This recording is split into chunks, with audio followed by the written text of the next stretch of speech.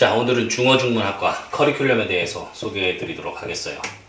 자, 중어중문학과에서는 중국 관련해서 어떤 것들을 크게 배우는가?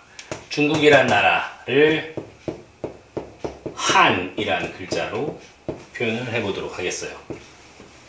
중어중문학과에서는 크게 중국 관련해서 세 가지 분야에 대해서 배웁니다. 세 가지 분야. 한즈, 한원, 한유 세 가지 분야에 대해 배우게 되겠어요. 한즈, 한원, 한유 기본적으로 중국 말부터 시작해서 배우는데 어떤 커리큘럼이 있느냐? 교양, 중국어 기초 발음부터 기초 문법을 배우죠. 그리고 학년이 올라가면서 예, 실력도 올라갑니까? 예, 초급, 중급, 고급. 예. 현대 중국어의 말, 회화와 말을 제대로 하기 위한, 말을 잘 이해하기 위한 현대 문법에 대해 배우는 것이 한유, 한유 시간이죠. 그럼 중문과 커리큘럼에는 중국어만 있느냐? 그건 아니고 한원, 한문도 있어요. 한어, 한문. 한문 시간에는 무엇을 배우느냐? 한문 시간은 옛날 중국 사람들이 남긴 기록이죠. 운문, 시, 산문, 시가 아닌 역사서라든지 문학 작품 이런 것들을 배우게 되겠죠. 아, 다시 밑으로 가면 운문은 크게 어떻게 나뉠 수 있겠어요? 아, 들어보셨을 텐데 고체시가 뭐며 근체시가 뭔가 고체시의 작품, 근체시의 작품 이런 것들이 다 현대 중국어에 녹아 들어가 있기 때문에 예, 시대별로 구분해서 배우게 되겠죠. 그리고 산문 관련해서는 예, 그때그때 예, 책을 선정해서 공부를 하게 되겠는데 기본적으로 어떤 책을 봐야 될까 고민할 수 있겠는데 제일 유명한 건 이거죠. 사서오경 중국의 책 뭐, 사서오경이 제일 유명하죠. 자 그러면 한字한자 시간에는 무엇을 배우는가? 한자는 크게 이렇게 나뉠 수 있어요. 형, 음, 의, 형음 이 한자.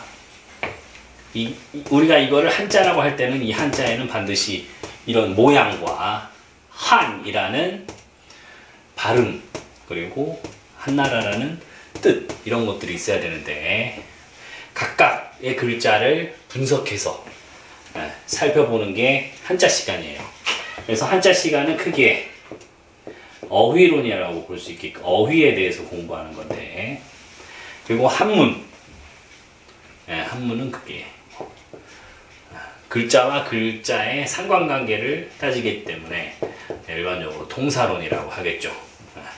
한문은 일반적으로 통사론, 한문법에 대해서는 통사론에 대해 배우고 한자 시간에는 어휘론에 대해 배우게 되겠다. 기본적으로 말은 내가 부딪히면서 열심히 배워야 되겠고 한문하고 한자 시간에는 지식 관련한 내용이 대부분인데 이쪽으로 갈수록 딱딱해요. 한문은 딱딱한데 나름 시도 있고 재밌어요. 근데 일로 갈수록 수업이 딱딱하고 네, 전문적이 되겠죠. 아무래도 이쪽이 아무래도 체계적으로 많이 정립이 되어 있는데 자 글자 한자의 글자와 관련해서는 어떤 네, 어떤 책을 통해서 살펴볼 수 있을까요? 한자의 글자 관련해서는 동한 시간 네, 동한 시기에 허신이 쓴 설문회자라는 책이 있어요. 설문회자라는 책을 통해서 한자에 만들어지는 제자 원리라든지 그런 것들을 공부할 수 있겠고 음은 위진남부조 시기부터 한자의 발음 문서가 등장하기 시작했어요. 한자의 발음이 점점 체계화되기 시작하다가 수나라 때 저룬이란 저룬이란 책 그리고 현전하는 광운이란 책. 네, 그래서 책제로만 들어도 딱딱한데 우리가 여기 설문회자 할 때는 직접 찾아서 발표를 하기 때문에 나름 재밌는데 이 성문학 관련해서는 재밌기가 어렵다. 그래서 우리가 어, 어떻게 접근하느냐?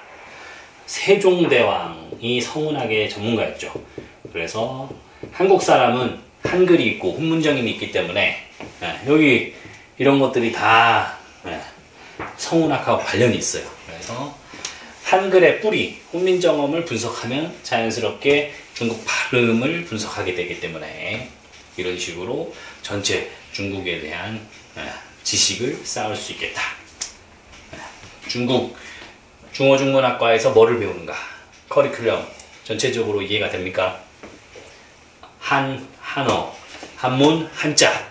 예, 중국과 관련된 말과 옛날 문장, 지금의 말과 문법, 옛날의 말과 문법, 그리고 한자가 어떻게 이루어졌는지. 이 세 가지를 잘 이해하고 있으면 중국이라는 나라가 보이겠죠. 물론 여기서 그치면 안 되고, 여행도 많이 다니고, 예, 이쪽 방면 말고 다른, 예, 다양한 분야에서도 지식을 쌓아야 되겠죠.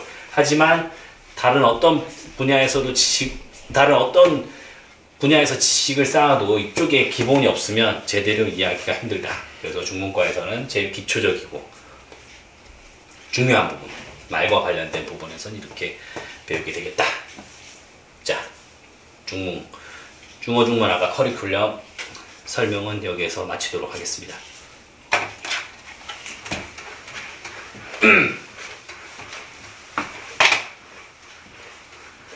你去哪儿？